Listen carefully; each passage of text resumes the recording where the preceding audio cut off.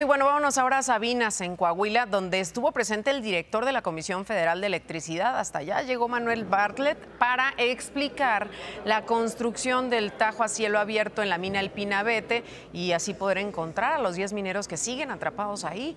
Será un trabajo de cuatro etapas, dijo, para llegar con maquinaria pesada a cinco metros del sitio en el que se encuentran.